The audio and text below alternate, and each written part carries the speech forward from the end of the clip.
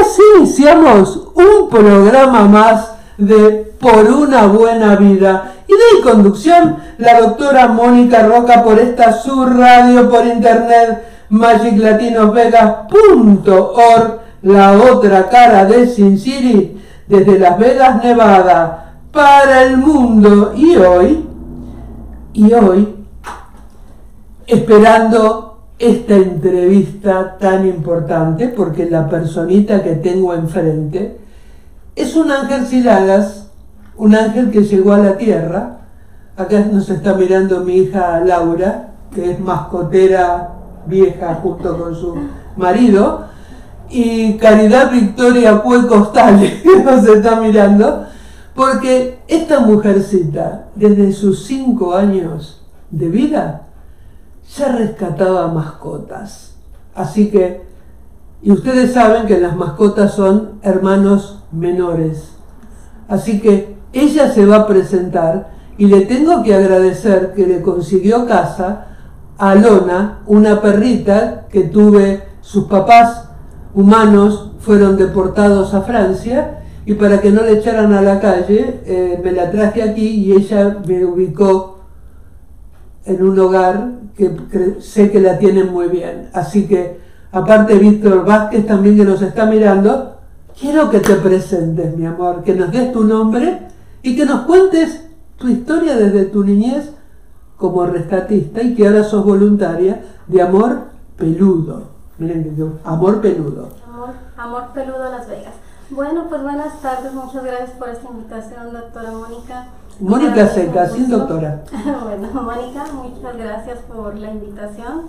Este, se lo agradezco mucho. Mi nombre es Maritza Alondra Juárez. soy originaria de México, de una pequeña ciudad situada al norte de los Altos de Jalisco. Y pues yo muy chiquita, bueno, mi mamá se casó cuando yo tenía 5 años. Antes de ahí, bueno, yo desde que tengo uso de memoria me gustan los animales. Pero cuando mi mamá se casó, este, vivíamos en una huerta muy grande. Entonces, o sea, con mucho espacio y también este, pues esposo de mi mamá, mi papá, pues también le, le gustan mucho los animales. Así es que empezó con un perrito, con otro perrito y curiosamente yo cuando los veía en la calle, que estaban enfermos, yo decía, ay, me lo llevo nomás mientras se cura. Y pues sabemos cómo son los animalitos, mientras les dan comida, les dan, no se van. Uno se encariña. Exacto. Y no los deja. Exacto. Recuerdo yo siempre tenía, mm, como que siempre a todos los animales los amo, pero siempre hay como, yo pienso que a todos nos pasa una conexión con alguno, así en especial. Ah, y yo recuerdo mucho que que esperaba que mi mamá se durmiera para subir al perrito, alguno de los perritos conmigo, porque mi mamá siempre que no, que no se duermen con perritos, que estoy que lo Y lo mismo sucedió con mi marido. Mi marido no, él estaba acostumbrado a tener un perro afuera, lo que sí tenía era un loro. Igual, también así igual pasó. Esperaba que se durmiera cuando me regaló un primer perrito en nuestro primer aniversario yo esperaba que se durmiera, lo subía a la cama y ya después él preguntaba, ¿no lo vas a subir? Ahora dormimos rodeados de perros y de gatos. Pero qué suerte que encontraste un compañero que tiene tu misma vocación de servicio con los animales. Porque ¿qué hubiera pasado si hubieras tenido un compañero de esos que no les gustan las mascotas? No, te hubieras casado. Mi vida. no, te hubieras casado. No, para mí los animales son, yo siento que es mi misión, ah, porque en el tiempo más mal que, he estado, mm, yo siento que ellos me han contenido. Contanos eh, de esos tiempos tan malos y, y por qué sentiste que te contenían. Mm, pues han sido a lo largo muchos animalitos que han marcado mi vida. Este, bueno, solamente me voy a regresar a mi niñez. Dale, sí, sí, sí, sí, porque tenemos todo el tiempo del mundo. Este, bueno, la primera vez, esto no me da gusto decirlo, pero como dicen así, así aprende uno. recuerdo que el primer gato que llevaron a, la huerta era un gato amarillo grande, hermoso. Y entonces, este, pues mi papá por algo no lo podía vacunar, no recuerdo si andaba lastimado de su mano o algo así. La cosa es de que yo nunca había tenido una jeringa en mis manos. este, ah, al quererlo vacunar, me puse yo tan nerviosa que le di tres piquetes, el gatito salió corriendo, nunca más lo vimos. O sea, de ahí aprendí, de ahí aprendí a cómo se pone una inyección y todo eso. Ahora digo, sí fue irresponsable porque obviamente yo no haría que, o sea, mis hijos... Que sufrieran. Bueno, pero, la práctica hacia el maestro. De ahí, de ahí yo pienso que me nació también mucho, no, no sé, como esa culpa de ahora de proteger a todos los gatos y todo eso, porque sí fue algo que yo, yo siento que marcó mi vida muy, muy fuerte porque aunque no lo hice con maldad, o sea, sentía, pero pues sucedió. Le diste tres piquetes, no lo abriste con un bisturí se te salió corriendo, es que es diferente. Claro, y pues ahora yo ya pues, puedo vacunar a mis, a mis perritos cuando se enferman, cosas así, ya, ya es más, ya es más como más normal. Hola Angélica Cervantes dice bendiciones. bendiciones. Sí. Ahora sí, de lo que me, de lo que me preguntaba sobre los momentos duros. Ah, pues en cuestiones de salud, desde que tengo 12 años aproximadamente.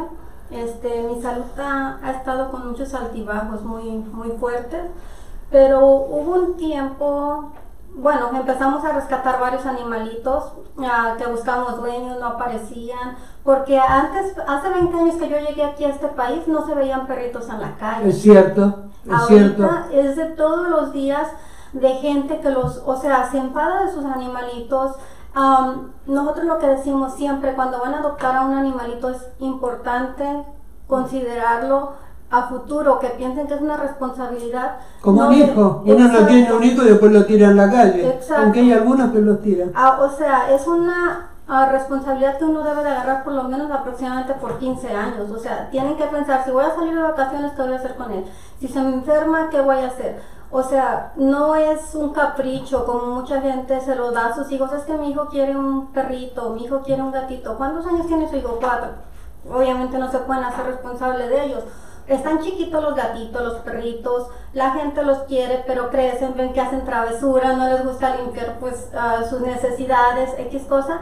Y muchos de esos perritos hoy en día aquí en Las Vegas, siento en Estados Unidos, terminan en la calle, terminan en las perreras este, muchos... Y los ponen a dormir. Mueren, exacto, porque ellos solamente tienen un tiempo determinado y si no son adoptables, los duermen, sobre todo los que vienen mixtos de Pitbull y de Chihuahua.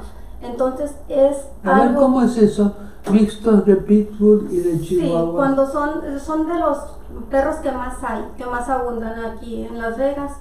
Entonces, este, mucha gente que quiere, digamos, un pitbull lo ven chiquito, X cosa, van y lo entregan a la, a la ferrera, al shelter, diciendo, oh, pues ahí alguien más lo va a adoptar. Déjenme decirles que no, porque hay muchos, muchos en espera. Y si no lo espera, y si no lo adoptan pronto, a ese perrito lo ponen a dormir. Lo ponen a dormir y es algo injusto, porque es lavarme las manos, echarle la responsabilidad a alguien más pero pues yo digo, al final esa sangre inocente va a caer sobre siempre, la persona. Siempre. O sea, es algo que va a ser un karma para la misma persona porque está abandonando.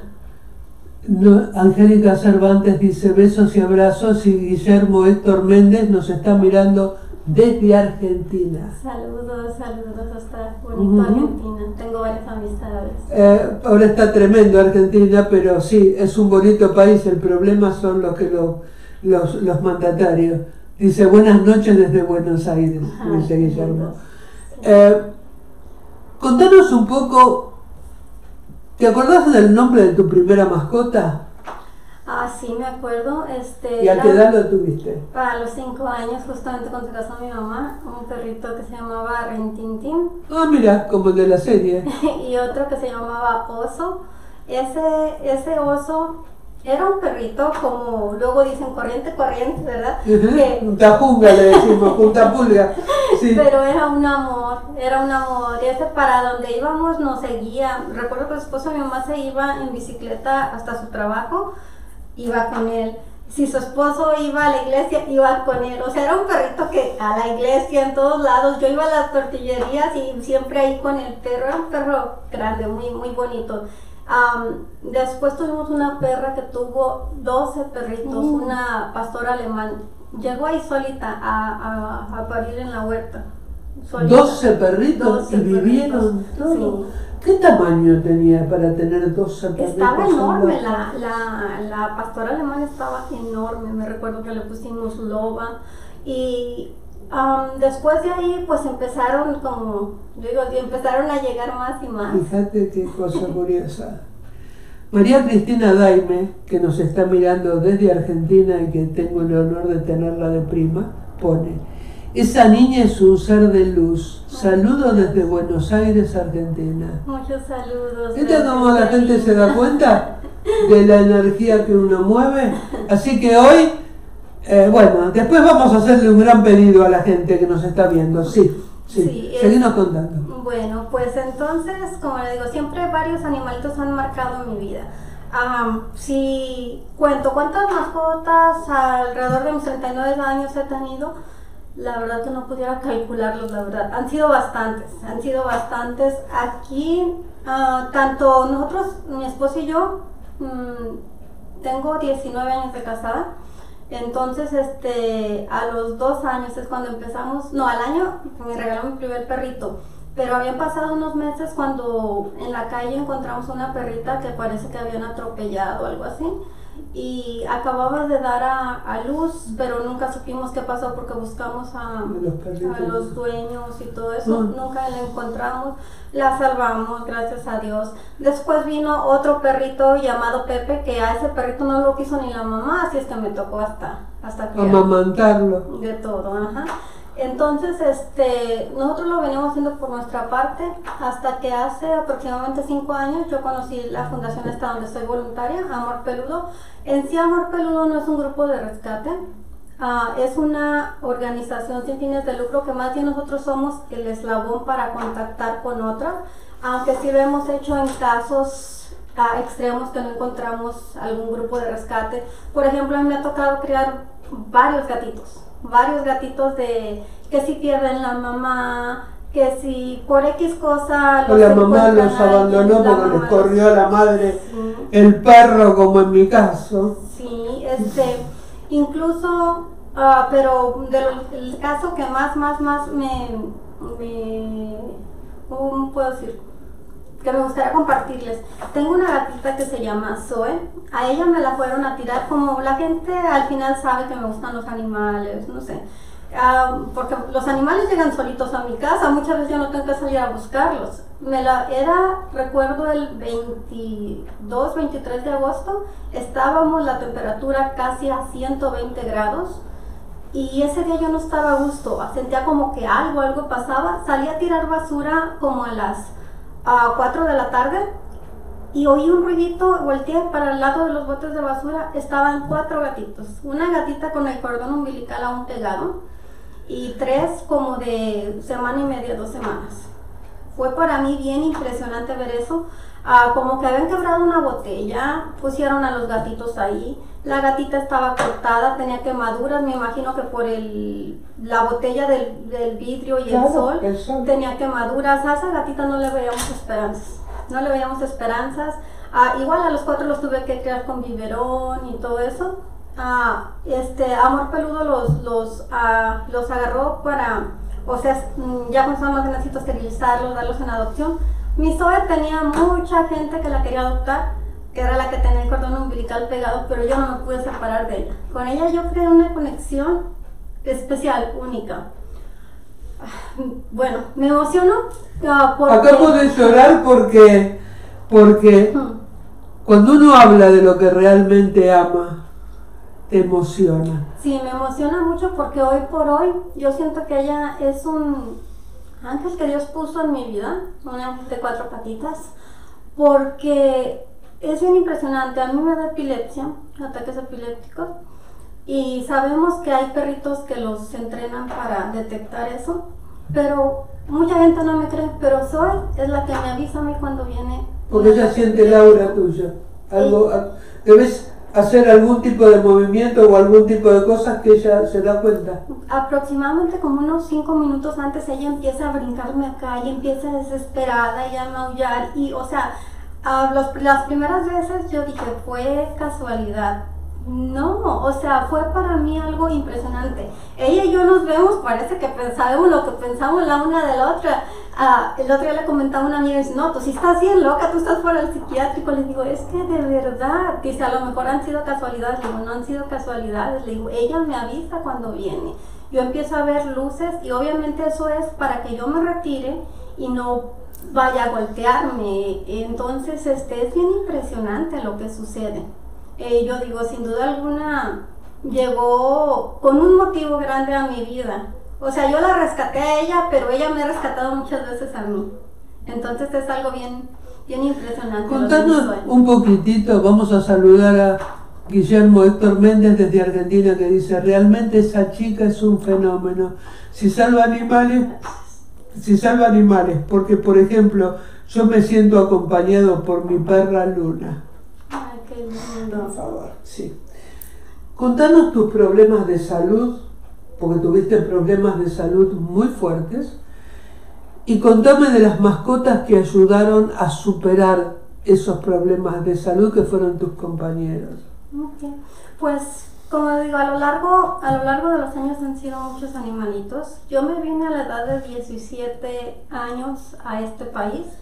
Yo tenía un perrito que si mi mamá me se va a acordar súper bien porque por ahí me hicieron una travesura llamado Peluchín. Era un perrito súper chiquitito, flaquito, negrito. La perrita, la mamá de, ellos, este, los dejó también muy chiquitos. Los criamos, los acabamos de criar también a ellos. O sea, yo tendría como 14, 13 años más o menos cuando, cuando murió la mamá de ellos, se llamaba Paloma, y este, tuvo cinco perritos cinco perritos, eh, que nos mm, éramos ahí entonces, éramos cinco hermanos y nos daba risa porque decíamos, ay, ojalá que tenga uno blanco, ojalá que tenga uno negro, pues nos dio gustos a todos. Así es que al último cada quien tenía su perrito. Yo me encariñé con el más chiquitito llamado Peluchín. Ese, ese perrito yo siento que me ayudó mucho en cuestiones de depresión. Cuando yo me vine a este país, pues obviamente se tuvo que quedar allá. ¿A vos te trajeron tus padres acá o te viniste sola? No, me vine, a me vine yo sola porque quería conocer la otra, la otra parte de, mi historia. Como te conté, bueno, le conté a mi mamá, se casó a los, con, bueno, que es mi papá porque tengo también su apellido, es Gay Juárez. Ah, pero yo no conocía a mi papá de sangre. Biológico. Ok, mi papá biológico. Entonces, este, yo tenía toda esa espinita, o sea, yo también quería saber pues mi, mi otra parte. Y según yo me, me, vine a este país para pensar muchas cosas, alejarme. No me digas que te viniste cruzando el monte. No, no crucé, no crucé ah. el monte. Ah. Entonces, este, pues quería conocer a mis abuelitos y sin duda alguna ha sido el regalo más grande porque mi abuelito es la persona más más buena que he conocido en mi vida. Lo acabamos de perder en febrero de este año por COVID. Este, y yo le voy a agradecer tanto a Dios que me dio, porque para mí no era mi abuelito, incluso cuando me casé él me entregó, era mi papá. O sea, yo también tenía, tengo a mi papá aquí, pero mi abuelito igual tuvimos una conexión bien, bien linda. Ah, yo fui primer nieta por ambos lados. Entonces, aunque yo no conocía a mi abuelito, él me enseñaba cartas, bueno, ya cuando mi mamá se casó, pues ya no, no tuve contacto con ellos, pero de los primeros años uh, me contaban siempre cuando para mi cumpleaños se juntaban ellos, o sea, familia por parte de papá. Este, mi abuelito yo pienso que es sin duda alguna mi ángel. Mi ángel, sí. Sí, me hace mucha falta cada día. Hace falta oír su voz. Él me decía, con respecto a los animales me decía, mi hija, Dios sabe a dónde los manda, Dios sabe a dónde manda a los animales, porque Él, él sabe que tú los vas a cuidar. Siempre me eso. Y es cierto, es cierto, como te digo, muchas veces yo no salgo a buscarlos, sino los animales llegan. No, pero lo que se nota, Maritza, es el amor que irradias. Eso no se, eso no se inventa. Eh, fíjate, gente que no te conoce, lo que ha puesto. No, es lo que yo pienso, sino lo que ponen. Eh, para colmo no traje... No, hay ningún... no, estoy eh, Contame cómo conociste a tu esposo y después seguirme contando tus problemas de salud. Claro que. Este, bueno, a mi esposo lo conocí a la semana de que llegué aquí, a este país. Bueno, no fue ni la semana, fueron como cuatro días. Mis abuelitos ah, asistían a una iglesia, a una iglesia cristiana, yo nunca había ido a una iglesia cristiana. Y este, y ahí lo conocí, ahí lo conocí, él era baterista del grupo que tocaba ahí. Yo nunca, nunca me imaginé, o sea, mi plan era venir cuatro seis meses, regresarme. Así era, así era. Porque, o sea, no, nunca me imaginé hacer mi vida. Ya han pasado 22 años y aquí sigo. Aquí sigo, yo nunca, nunca me imaginé tener acá. Muy buen muchacho, sin duda alguna. ¿Qué fue lo que te enamoró de él cuando, te, cuando lo conociste? Uh, miento, digo que fue amor a primera vista porque, pero a mí me cautivó tanto ah, su caballerosidad, su, la plática que tiene con él tan interesante, unos ojos hermosos, expresivos, unos ojos grandes, o sea, que podía platicar yo me sentía... ¿Cómo se nota que seguís enamorada de él? claro, claro. Este, no, y sí, los, sus ojos son súper expresivos, tienen mucha luz. Y yo digo que hoy en día ya no hay casi muchachos así. Ya no hay, o sea, súper caballeroso, porque hasta la fecha él me abre la puerta del carro, todo eso, o sea, que, que no es muy común. Recuerdo que una vez alguien me dijo así, ¿a poco te abren la puerta del carro? Le digo, claro. Dice, no, a mí me dejan casi como, ¿te subes o te dejo? no, y pues yo digo que el amor hay que cultivarse día, día a día. Muy buena, yo, y sobre todo a mí lo que más amo es que dicen siempre, cuando te vas a, cuando te enamoras, fíjate bien cómo trata a sus padres, cómo trata a un niño, cómo trata a un animal.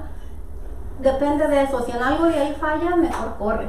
Y no Totalmente es cierto.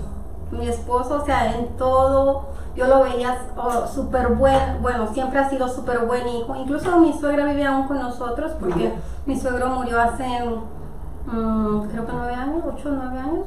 Y, y, tenemos a su mamá y para mí es un gusto, para mí es un gusto poderla, poderla atender, ella está en silla de ruedas a causa de meningitis, pero muy, muy buen hijo que es y, y yo digo, ojalá que mis hijos lleguen a ser algún día, porque yo digo yo que creo, yo creo que sí, porque es lo que les estás mostrando.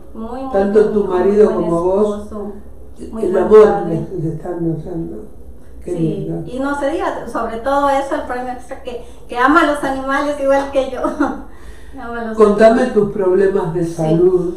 Este, desde los 12 años, mm, bueno, antes, recuerdo yo que siempre los dolores de cabeza muy fuertes, uh, que dolores de huesos, Ah, me mareaba mucho, muchas náuseas. Entonces recuerdo que yo iba a la doctora nada más para algún chequeo y me mandaban ya con seis sueros, con seis sueros a que me los pusieran en la casa. Y la verdad que yo desde muy chiquita he sido malísima para comer. De ahí vienen muchos problemas porque soy mala, mala para la comida. o sea, te olvidas de comer. Sí, y yo no, lamentablemente yo no. ¿Y entonces? Curiosamente yo no siento hambre.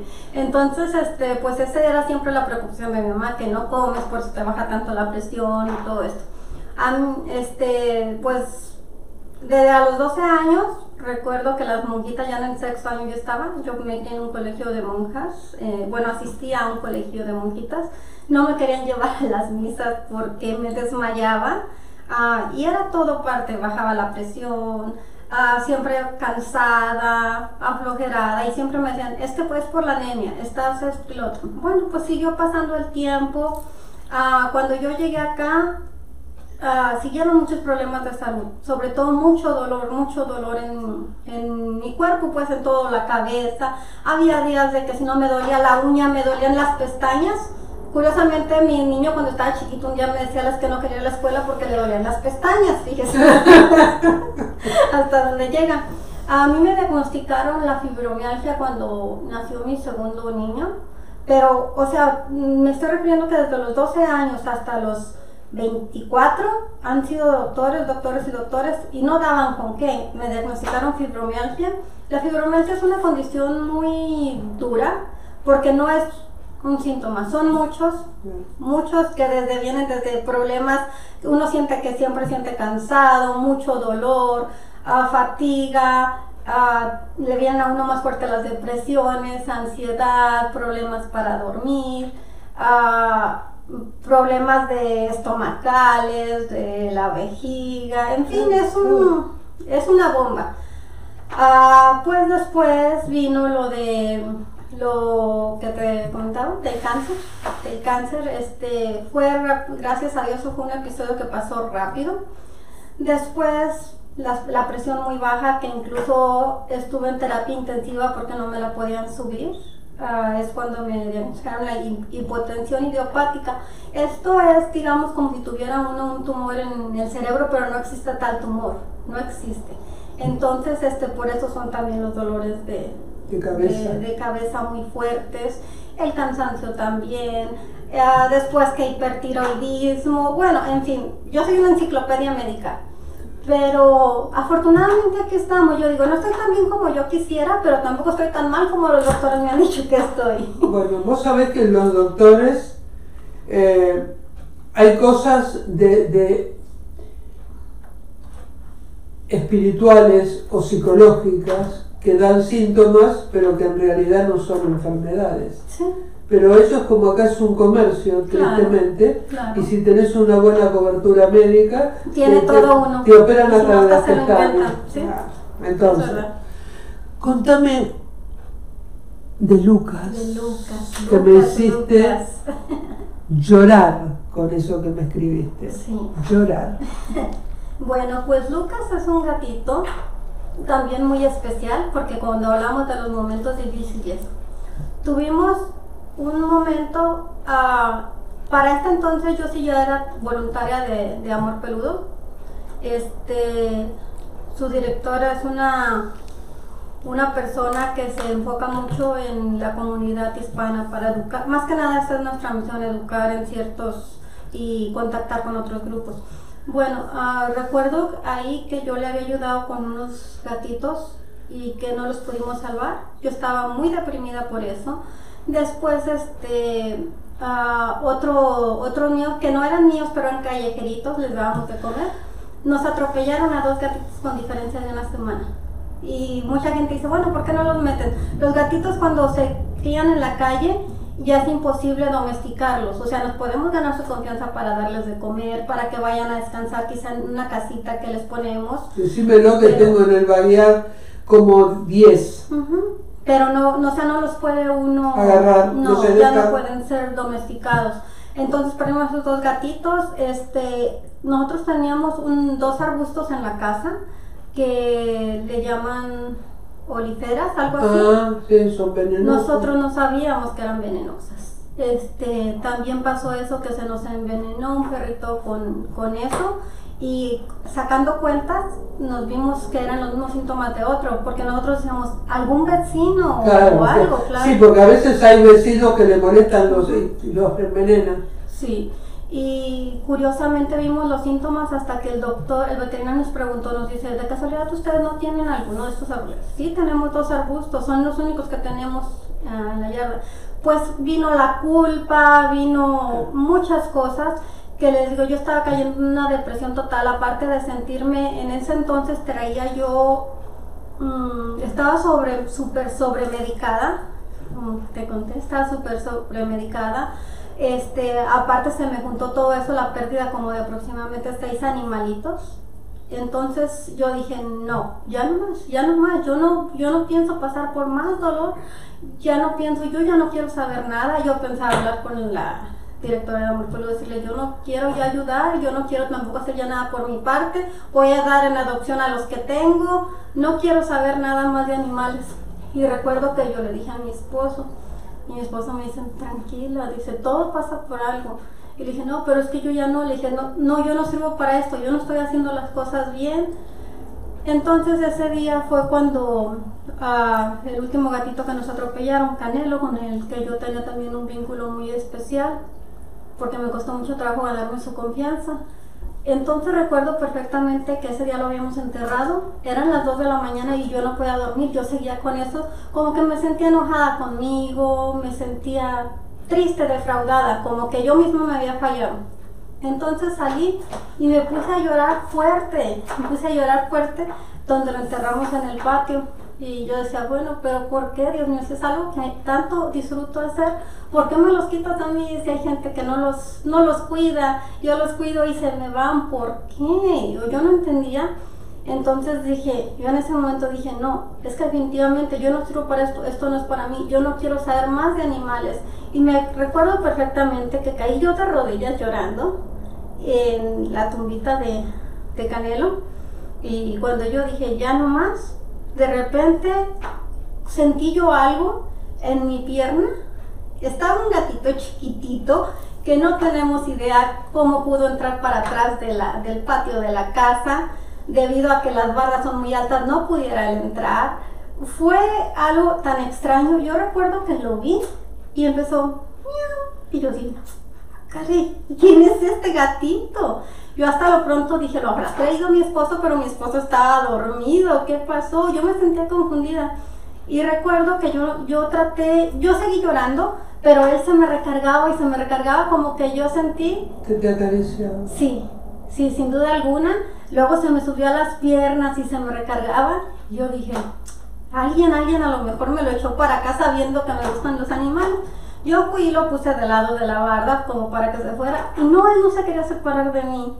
Para mí eso fue una señal bien clara que Dios me dijo, no, si es aquí, si es aquí donde te quiero. Y hasta la fecha ahí sigue Lucas, te mandé la foto. Este, ¿Cómo empezó? ¿Por, ¿Por, qué ella, por qué yo sé de Lucas? Porque a ella le mandé unas fotos de mis dos gatos de afuera, porque yo tengo dos gatos de adentro, ahora sigo teniendo dos, aunque se llevaron uno, eh, pero con este calor espantoso que había, eh, se me deshidrataron dos gatos, a pesar de que puse ventiladores y todo, porque no sabía cómo hacer no podía entrar 10 gatos al salón, porque aparte no quieren entrar porque les da miedo. Entonces, Fleco, que es un gato negro, y, una de las crías que le pusimos caramelo, que recién la madre eh, había parido hace muy poco, estaban semi-muertos. Y, y también me tocó, bueno, vos viste las fotos y la filmación de Fleco ahora está hecho un gordo así que camina todos los días, que lo tendría que castrar porque todos los gatos, hay una sola castrada, que es la gorda, que me di cuenta que era castrada cuando me dijeron que les cortan un pedacito de la orejita de, todos los demás gatos no están castrados y son viven acá. Entonces, cuando le mando las fotos de Fleco y de Caramelo, me habla de Lucas. Entonces dice, le dije, quiero que cuentes lo de Lucas. ¿Y por qué quiero que cuenten lo de Lucas? Porque contame cuál es tu real sueño. Sin duda alguna mi sueño más grande ha sido siempre llegar algún día a tener algún refugio donde puedan recibir este pues a los animalitos de necesidad. Yo ahorita tengo seis perros, ah, todos tienen algún, bueno, uno no, mm, pero todos los demás tienen problemas de salud. Y me dicen, ¿por qué tanto perro? Cuando un animalito, digamos, que rescatamos, mm, sea por nuestra parte, o sea por la fundación, por la organización de esta, que sea gatito, digamos, este, tiene algún problema de salud, no sé si sea bien o sea mal, pero no me gusta darlos en adopción porque sabemos que la gente se cansa, la gente no les pone la atención. Entonces, este, ah, pues es por eso que todos mis perritos Ah, tienen problemas de, de, salud. Está la, la Hershey, la, que es una pitbull. Desde hace cuatro años allá no la iban a dormir, nos dijeron que ya no tenía remedio, puesto que tenía un tumor muy grande de cáncer. La del hígado. La tratamos con medicina natural. Está aquí, pero le ha regresado desafortunadamente muy fuerte, muy fuerte el cáncer, pero también es una perrita como de 13 años, ya está, ya está mayorcita. Ah, tenemos otro perrito que nos dijo que posiblemente iba a necesitar una sillita de ruedas, ah, porque por favor, gente, la gente que me está escuchando, cuando tengan una perrita y tenga perritos, siempre lo mejor es castrar. Les pedimos, bueno, la gente que vive aquí en Las Vegas, por ley, cualquier perrito, gatito es mayor de cinco meses debe de estar castrado. Entonces, este, pero digamos que si tienen su perrita, tiene perritos, no se los quiten tan chiquitos. Ah, vienen problemas de raquitismo, muchos problemas de sus huesos, de su columna. Ese perrito, ah, recuerdo yo que lo agarramos muy chiquitito porque la señora me dijo, va a querer eh, el, perrito porque los empezó ella a vender y nosotros le dijimos pues que no era correcto que, que hiciera eso. Entonces dice, pero es que yo ya me voy a ir a California. Dice, yo se lo, se lo puedo regalar, pero tiene que venir por él. Entonces este, yo dije, le dije a mi esposo, vamos a agarrarlo para darle una adopción, pero asegurarme ya que esté esterilizado y todo eso. Bueno, pues resulta que, que se lo quitaron, le dije, está muy chiquito, ella me decía que tenía cinco semanas. No, tenía tres semanas y ya le estaban dando comida. Entonces, este, no sabemos cuántos días antes le estaban dando comida molida. Debido a eso, el perrito mmm, tiene problemas de sus huesos. Sus patitas están totalmente chuecas. Eh, claro, le damos este, vitaminas, cosas así, pero ya cuando el mal está hecho, ya, ya no se puede remediar. Nos dijeron eso, que posiblemente a los 5 años él iba a necesitar alguna silla de ruedas o algo. Tiene 6, todavía camina, gracias a Dios pero sí, cada día sus patitas se le ven más chuecas, tanto las de atrás y también las de enfrente se le están haciendo para los lados. Uh, los, los perritos y los gatitos deben de estar con la mamá mínimo siete semanas, mínimo. ¿Por qué? Porque necesitan que ser alimentados por, por la madre, no, no, no seamos irresponsables. Sabemos que entre más chiquito le llaman la atención a la gente, pero ellos necesitan a la mamá, entonces, este, pero sobre todo sea en el país que sea, por favor esterilicen. Ya hay muchos animalitos sufriendo. ¿Cuánto sale una esterilización? Porque vos me diste los datos uh -huh. para llamar a un lugar donde iban a venir al vaguear, uh -huh. iban a poner trampas, los iban a levantar, los iban a castrar, pero después los iban a soltar. Regresar, pero no me lo iban a soltar acá en mi casa, lo iban a soltar en la calle. Y yo me muero porque yo me, me encariñé. Uh -huh. Este, me parece que si habla con ellos sí se los pueden dejar aquí atrás. Aunque no sean, aunque no sean míos, son gatos de afuera. Sí, son gatos, uh, fueron este, gatitos salvajes. Sí, sí, sí, uh -huh. sí, sí, sí, Porque no los llamé porque dije, van a poner trampas, uh -huh. los van a levantar me los van a tirar en otro lado cuando yo aprendí a quererlos. No, me muero. No, me muero. Este, para la gente que está aquí en Las Vegas hay un programa uh, de C5, se llama, uh, lo pueden buscar así, C5 en internet, que ellos ayudan a esterilizar este, y a vacunar a los gatitos de la calle. Eh, como dijo la como dijo Mónica, este la función es esta, lo ponen las trampas, los atrapan, uh, se los llevan, los vacunan, los esterilizan y después vienen y los sueltan en el lugar, en el mismo lugar que los que los agarraron. Ah, bueno, okay. yo tenía tanto miedo, por eso no los llamé. Y eso es un ¿Y se acuerdan, por ejemplo, cuántos gatos se llevaron de esta casa? A ver si me pierden alguno por el camino. no, porque tengo no, pánico no a eso. eso no porque la gorda me la van a dejar porque es la que tiene los... Cortada. pero las crías nuevas que tuvo Parche, que, que al principio pensé que Parche era un varón, y resulta que Parche era una mujer, y tuvo en la primera tanda tres y se le murió uno. Y en la segunda tanda, me está llenando la casa de gatos, tuvo cinco y se le murió uno. Entonces la tengo que castrar porque cada cuánto quedan embarazadas los Desde gatos. cada cuatro meses pueden, cada cuatro meses, a veces hasta desde los tres meses. Am, las gatitas ah, regularmente dicen que su ciclo empieza a los ocho meses, pero muchas desde los cinco meses pueden. Sí, Pueden entrar en- Parche es menudita y chiquitita, debe ser jovencita. Sí, sí, lo creo. Y ya tuvo dos crías. Wow, qué triste. Y o sea, pues qué bueno que están aquí cuidados con usted y todo eso, pero la mayoría de los gatitos de la calle no tienen esa suerte. La mayoría de los gatitos de la calle no llegan a los dos años de edad cuando son atropellados. Este, mucha gente sabemos que los envenenan. Esa experiencia ya nos tocó a nosotros, ya nos tocó a nosotros con unos vecinos, este, mm, que encontramos ¿cuántos eran? No recuerdo, como cinco gatos, así que no los envenenaron y a lo descarado. ¿Y qué dice la policía? Mientras no hay las pruebas suficientes, no podemos hacer nada. Entonces es bien triste, pero hay gente también de aquí de Las Vegas, por favor, si, si quieren esterilizar, hay muchos programas, hay muchos programas. Por ejemplo, si usted recibe estampillas de comida, recibe Medicaid, hay programas que incluso pueden operarle a su perro, a su gato gratuitamente. Entonces, ayuda sí hay, pero hay que saberla buscar. hay clínicas de bajo costo también. Te hago esta propuesta, mujer, y de todo corazón te la hago. ¿Te animas a tener un espacio en esta radio donde nos vengas a contar? No hace falta que vengas acá, te puedo hacer las notas por Zoom. ¿Te animas a tener un espacio donde nos cuentes el, para que la gente cuide más a las mascotas, los lugares. Claro que sí, con mucho gusto, con mucho gusto. No sabes para mí qué es qué importante que es esto que me acabas de decir porque estoy muy emocionada.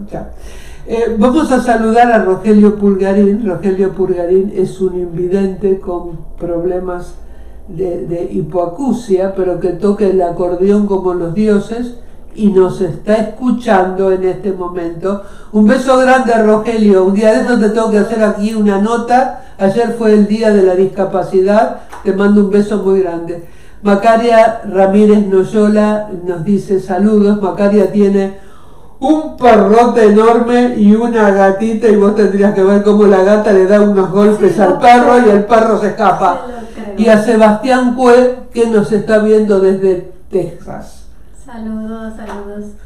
todos ellos son... de la perrita que les contaba de la Pitbull, ah, como nosotros, bueno, cuando la agarramos trae muchas cicatrices porque aquí desafortunadamente ponen mucho las peleas de perros.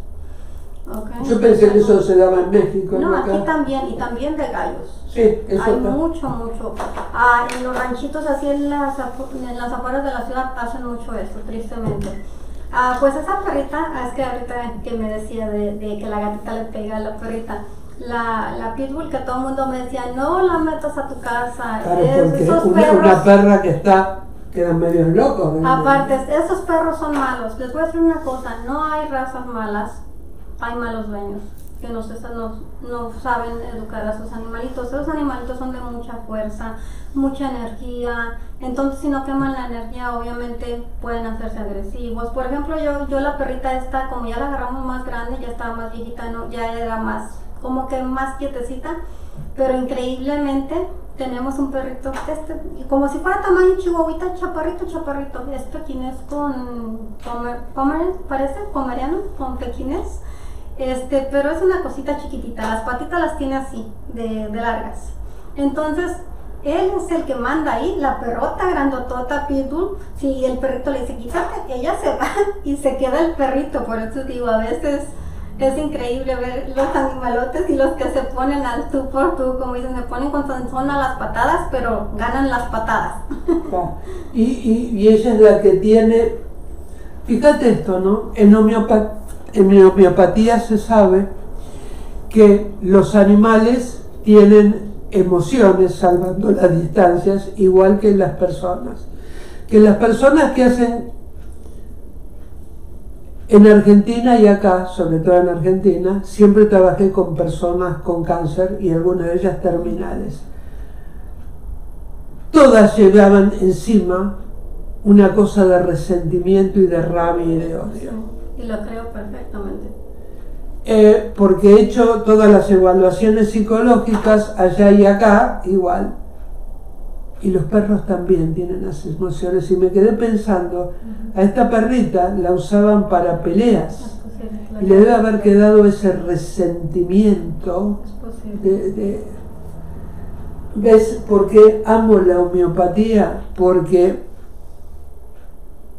la homeopatía más allá, porque más allá del cuidado que yo le pueda dar, a Fleco y a, y a Caramelo lo salvó la homeopatía. Independientemente de mi amor y que dormía arriba mío Fleco y que le daba de comer en la boca, Eh, la homeopatía fue la que hizo el milagro, por eso desde ya te digo, mi laboratorio está a tu, disposición para los animalitos porque eh, la homeopatía es barata y cura, por eso no va a entrar como medicina tradicional acá porque no la van a permitir. Pero, ¿qué necesitas para poner un santuario de animales o, una, o una casa protegida de animales? Como eso, eso es mi sueño grande. Sé que es un sueño a largo plazo, ya que aquí en Estados Unidos son, son complicadas las cosas porque se necesitan permisos de todo. ahorita yo en lo que me quisiera enfocar más es primero en sacar en adelante los que tenemos, como les digo, son seis que cinco necesitan este pues atención de estar siempre. Yo no trabajo fuera de la casa, porque pues se ha cuidado a mi suegra, este, y aparte pues todo el zoológico, ¿verdad? Claro, pero aparte, este, ¿cuánto dinero necesitas para darle de comer a esos perros? Bastante, bastante, bastante. Entonces, este, ¿aceptarías colaboración de los seguidores de esta radio para ayudarte a esos perritos hasta que puedas concretar lo del santuario para animales? ¿Te ayudaría si la gente te pudiera dar un poquitito para comprarles comida, o porque tampoco es justo que tu pobre y santo marido, que trabaja para mantener a la familia, eh, se le vaya específicamente todo esto eh, en comida para animales, porque ya con lo que yo tengo afuera, es un presupuesto la comida de los gatos, porque si bien les doy dos veces por día, pero son tantos que las bolsas de comida, después te iba a preguntar si hay algún lugar donde se pueden comprar bolsas más grandes y, a menos costo, porque es un presupuesto. Claro, se gasta bastante. Pero no puedo dejar de darles de comer, porque cuando vos le empezás a dar de comer, es una salvajada después cortarle todo, y no darle ni agua, porque es perverso. Y ahorita estoy en una encrucijada bien grande. Este, como, o sea, yo he rescatado animalitos de no solo perros y gatos, de que nunca me imaginé en mi vida tener. Ah, por ejemplo, rescatamos a unos geckos que son como unos lagartijos, ya yo en casa, pero yo los tenía horror a las lagartijas. Entonces, pero cuando uno los ve, uno venía tan mal, una tan malita que le salió un tumor y todo eso. Entonces preguntamos al veterinario, nos cobraba 600 dólares por hacerle, extirparle eso. Pues, ¿cómo me animé? La cirugía se la hice yo. sí, la cirugía se la hice yo. Entonces, este, con mucho cuidado. Te bendiga tu manos. Con mucho cuidado, la, incluso aún vive. De hecho, ya pasaron como cuatro años. La otra ya tengo contacto con la persona que los tiene. Le voy a decir que me mande unas fotitos. Este, yo cuando antes no me animaba ni a tocarlos, pues los, o sea, los empecé a cargar, me empecé a encariñar y así con muchos otros animalitos. Los roedores tampoco me gustaban. Hemos rescatado este guinea pig. ah, chanchito de la India, le llamamos en Argentina. Este, um, hamsters, todo eso. Entonces, Yo he este, tenido desde Argentina acá una variedad de bichos de ese tipo. Sí. Yo los amo. Sí, son bien lindos, son bien lindos. A veces la ignorancia o no sé qué nos hace, pero, o sea, fui rescatando muchos, muchos animales que nunca me imaginé llegar a tener. Y de todo, de todo es un gasto, de todo. O sea, ya las tortugas, los geckos, uh, todos esos ya están acomodados en casa. Yo ahorita, hoy por hoy, tengo este, lo que son los seis perros, cinco gatos y este, un loro, que ese loro lo tenían en condiciones terribles. Yo lo tengo libre por la casa, él anda, tiene su jaula abierta, él puede ir a donde él quiera. No me gustan las aves enjauladas. Este, y como les digo, todo, todo si se junta al último representa un, gasto fuerte. Este, así tenga nada más un animalito chiquito, siempre hay que considerarlo. Yo a veces sí digo, híjole, pobre mi marido, de verdad, de verdad que sí. Pero yo digo que sin duda algunas ama mucho a los animales y cuando nos ama a nosotros. Él, yo sé que lo que quiere también es verme en paz, verme tranquila. porque, bueno, nunca, no acabamos de hablar el tema sobre eh, en cómo me ayudaron los animales en cuestiones de salud. y es que han sido muchas veces que yo he caído en el hospital por una u otra de las razones y yo sé que me tengo que levantar por ellos. O sea, mis niños ya están grandes, tienen 14, 15 años, o sea, que dijéramos, ay, pues no les puedo dar de comer. Ah, pues ellos ya están más grandes, O sea, y claro que uno de mamá siempre los va a ver chiquitos, pero yo sé que los animalitos no pueden atenderse solos. Entonces para mí es, te levantas o te levantas. Y sin duda alguna, mm, yo por eso digo, en vez de que yo los cuido a ellos y ellos me cuidan a mí. Porque, pues, ¿cómo decirlo? Digo, son mis ángeles de cuatro patitas, son mis ángeles de cuatro patitas y todos de a lo mejor poco a poco les puedo ir presentando cada caso, cada paso, cada paso para que los vayan conociendo, los cuidados que les damos y todo eso, pero yo sin duda alguna digo, ellos más bien me han sacado a mí adelante. ¿Tenés en tu teléfono el sistema de Cell del banco? Ah, no lo tengo activado.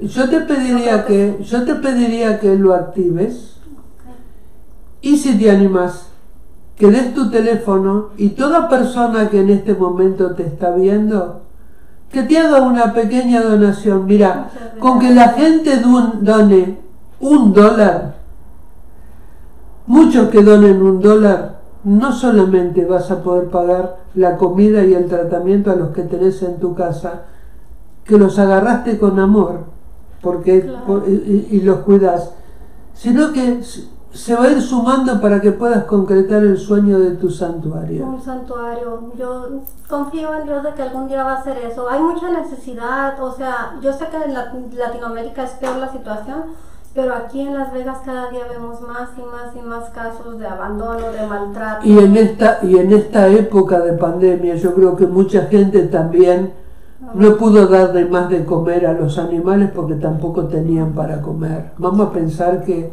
que los que lo soltaron fueron para que consiguieran comida en otro lado. Vos sabés que el maltrato, si el ser humano maltrata a un ser humano, ¿cómo no va a tratar a un, animal que es indefensa? Yo, yo vengo y te voy a decir una aberración. En mi familia hay, por, por el linaje de parte de mi madre, enfermedad mental. Mi abuela, la madre de mi mamá, lo cuento y me da vergüenza. Y ella no se daba cuenta de lo que hacía ni, ni se daba cuenta de la, aberración que hacía. La gata tenía gatos y los tenía y los holgaba en un balde. Mi mamá tenía una perra, que esa perra no tenía emoción de perro, tenía emoción de humano. Tenía las crías, las mataba y las enterraba en el fondo. Fíjate que esos son emociones humanas, no de animales. Entonces, a mí me extrañaba porque las palomas en las casas de mi abuela vivían caminando y no volaban, hasta que un día de grande me acordé, algo que tenía guardado, mi abuela les abría las alas y les sacaba las plumas para que no se volaran. Y después las usaba y se las comía. Era yo vengo de una abuela que era una enferma mental mala, porque hay enfermos mentales que me hacen esto, mala. Yo siempre fui perrera, mi primer perrito se llamó Rabito, lo tuvimos que poner a dormir, fue devastador, devastador. Y yo odiaba a los gatos. Y los gatos me odiaban a mí, a tal punto que una vez en uno de los lugares donde tuve el consultorio hasta llegar a esta casa, eh, tenía el consultorio en la iglesia episcopal. Y afuera había un gato negro siempre, que se ve que estaba castrado porque estaba gordo. Toda la gente que salía de los grupos de autoayuda que yo tenía gratuito, el gato, hasta que salía yo. Cuando yo salía, el gato me hacía y salía corriendo. Hasta que esas cosas de Dios porque es de Dios. Mi perro en una época estaba suelto por el bayar. Y había unas tablas en el bayar Y un día veo que el perro se mete abajo de la tabla y sale corriendo un gato. Menos mal que levanté las tablas. Levanto las tablas y era el día que había tenido a las crías. Eran cinco crías. Yo de gatos no entendía y menos de crianza.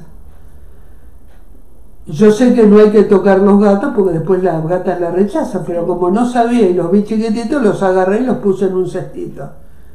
Y le di leche común porque no sabía que no hay que darle leche común, son esas bestialidades y los gatos no sé cómo vivieron igual. Al otro día, después que los alimenté, fui a comprar las mamaderas, rompían mamaderas que daba miedo, se lo pongo a la gata, la gata se llevó una, se ve que para sacarse la leche me dejó cuatro y tuve que criar a esos gatos, de los cuales me quedó uno, el que hoy es el único siamés mixturado, que se llama Vicajuna, que es un gato que me ama y lo amo, pero Caramelo, la madre es Parche, es un gato de afuera, que un día eligió vivir adentro. Entonces entró y cuando lo quisimos sacar, no quiso salir nunca más. Algo así me sucedió con uno. Pero es un salvaje. es un salvaje cuando le agarra la noche la chiripioca de correr por arriba de la cama, me salta arriba de la cama y si muevo el dedo del pie así por arriba de la colcha me lo muerde. Claro, claro. Es tremendo. Y todas las mañanas, se ve que debe tener en algún momento frío, se sube a la cama, se mete acá abajo y me hace con el hociquito acá y se me duerme acá y me ronca. Para calorcito. Pregunta, aparte de saludar a Lourdes Alves, ¿por qué los gatos pueden tener mal aliento? Porque Caramelo tiene un aliento que mata como si hubiera comido carne podrida. Muchas veces cuando no se desparasitan pueden tener mal aliento. Este, muchas veces los llevamos a vacunar, pero no preguntamos al veterinario. En México es muy común ir uno a las veterinarias y agarrar una pastillita para, para eso. Y también es, bueno darles este, el catnip, es un zacate que lo puede plantar así en una macetita y a ellos les gusta estar ahí mordiendo, les ayuda para el aliento, les ayuda para el estómago. Porque te cuento, me compré un medicamento y, se los doy en la comida o en el agua para desparasitarlo. Pero así todo sigue teniendo un olor fétido espantoso. Pero leyendo en cosas de animalitos, dice que también puede ser síntoma de cáncer. Ah, la verdad desconozco del tema, desconozco del tema. Este, yo hasta ahorita gatitos no he tenido con, con cáncer, han sido puros. No, pero este tiene un olor que Viste, se me pone acá y cuando se le da por morderme la nariz, el olor te voltea. Te juro que te voltea. Compré, que todavía no lo hice porque hay que agarrarlo para hacerlo, un cepillo de dientes con un gel para lavar las encías, porque dije a lo mejor tiene inflamadas las encías o tiene metida, porque le doy al mediodía comida húmeda y a la noche comida seca. La comida húmeda sí crea muchos problemas de esto. Yo la gatita Zoe pasa mucho eso. Ella, uh, bueno, yo digo que es mi doble en cuestión de, así como mi mamá batalló conmigo y ahora mi esposo, yo batallé con la gatita. Ella tiene una malísima para comer, malísima y ella no quiere nada este más que la comida húmeda se come el puro gravy el puro caldito. Ajá, lo que come, pero tiene ese mal aliento. O sea yo en eso sí me he fijado como pero cuando llega a comer este sacatito como que se les refresca este son las semillitas las pueden encargar, las ponen en una macetita y es, bueno que estén comiendo. O sea, ellos lo comen directamente de la macetita.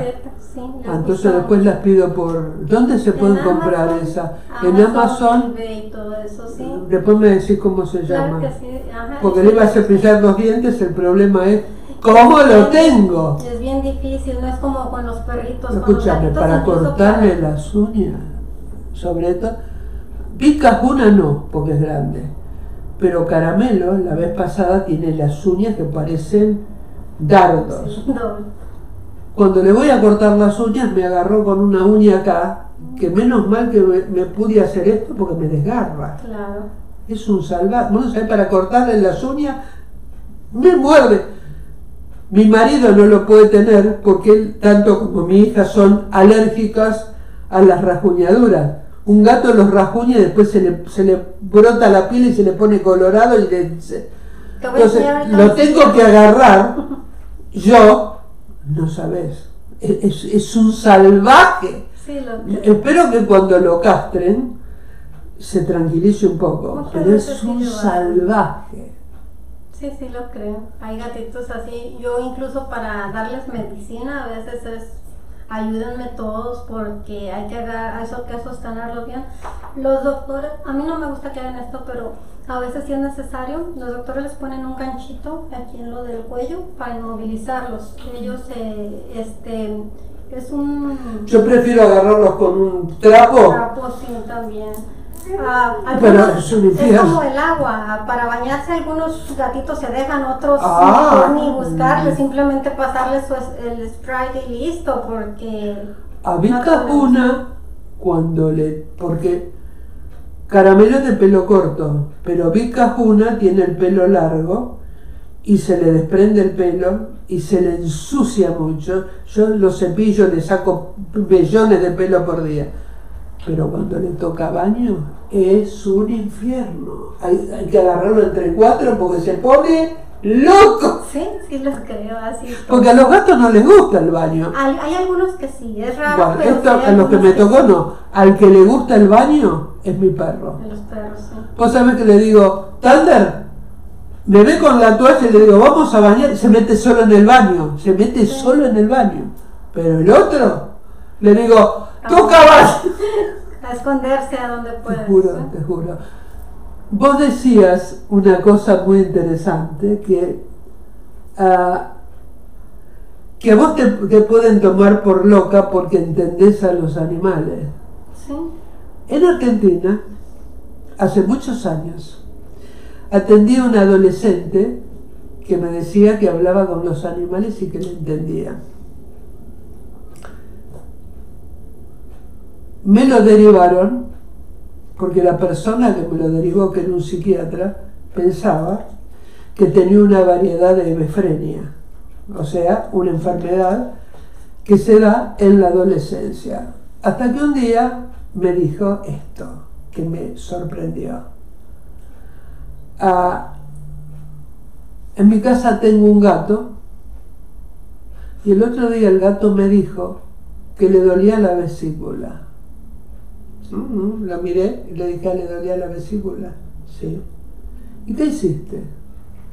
Lo llevé a la veterinaria y le dije que el gato me había dicho que, tenía, que le dolía la vesícula. Le hicieron un chequeo médico y el gato tenía un problema de vesícula. Entonces un día viene y me dice, consigo, era en Argentina, yo era soltera, vivía en un departamento y le pido el gato a la vecina. Que yo sabía que el gato tenía un problema de salud. Entonces estoy con el gato así, le digo, toma, pregúntale al gato qué problema de salud tiene. Y lo mira, porque él no le hablaba, miraba al gato y él hacía así con la cabeza. Dice, el gato tiene una tumoración en el hígado, pero está medicado, la señora lo medica. Buah.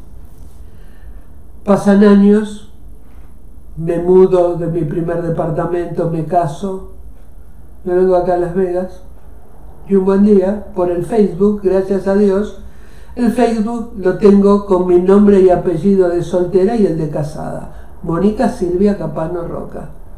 Entonces me llama alguien por el Messenger. Mónica, sí, te habla fulano de tal. Hace muchos años vos me atendiste cuando era adolescente.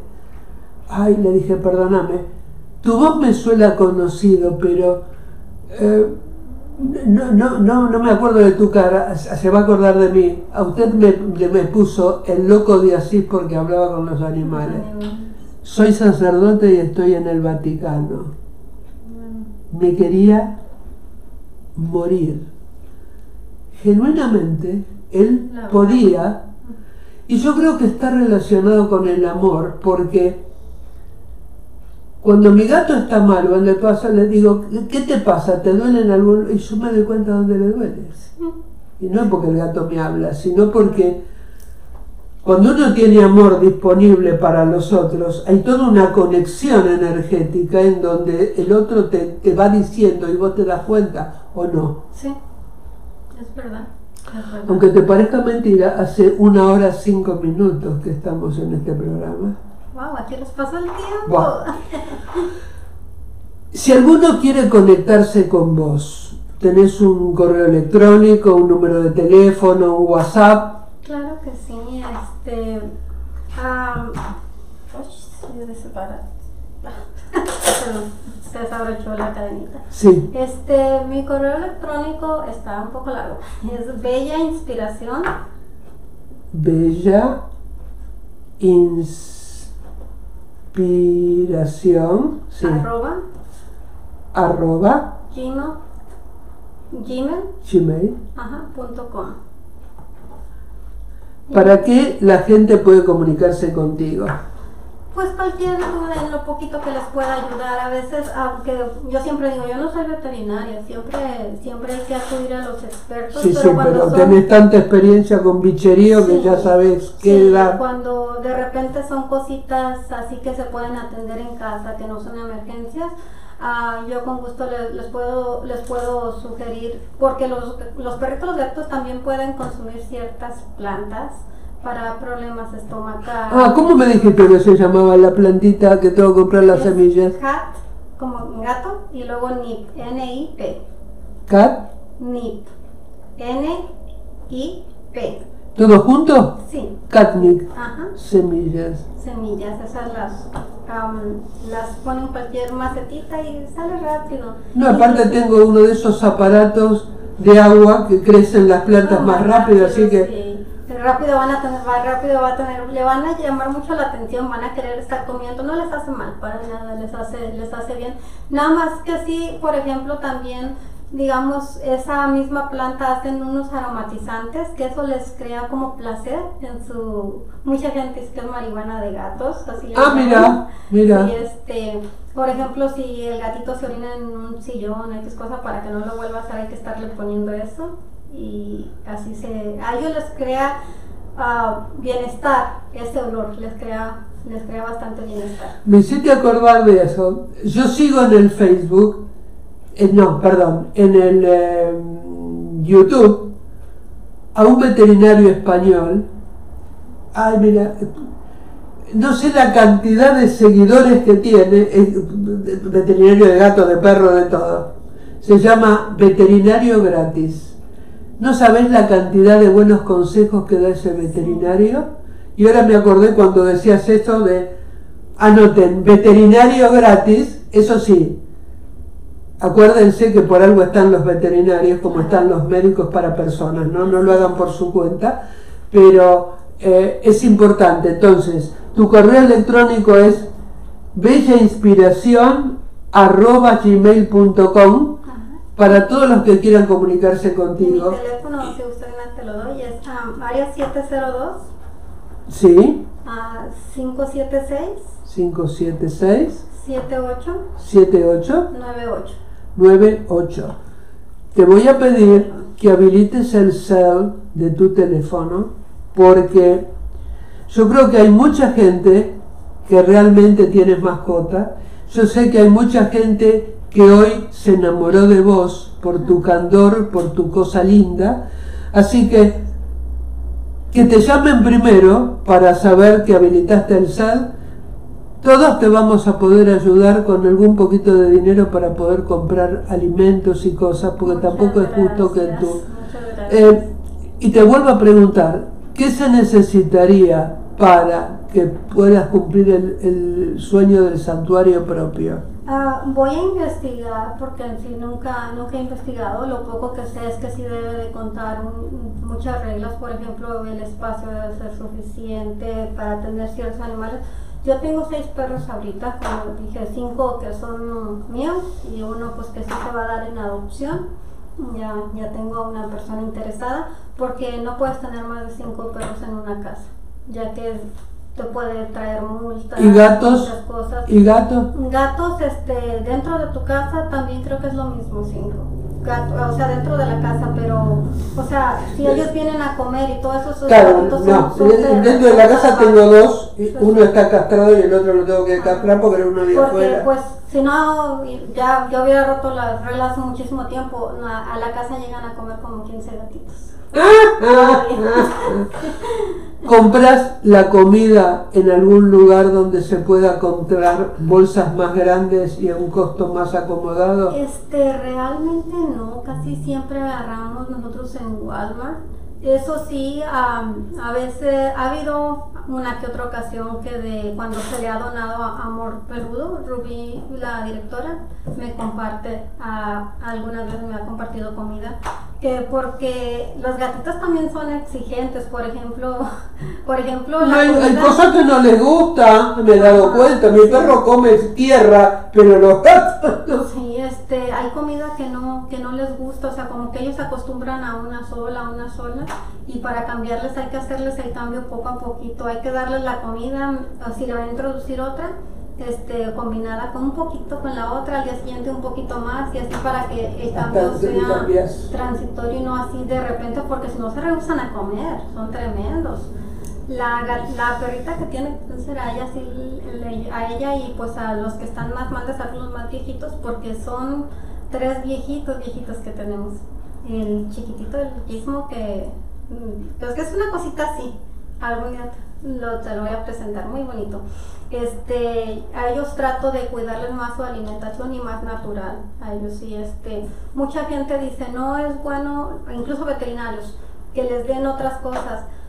Pues yo haciendo varias investigaciones, yo me he informado muy bien sobre la dieta BARF y es una maravilla para las mascotas. Ah, yo pienso que Tanto para perros como para como gatos. para gatos.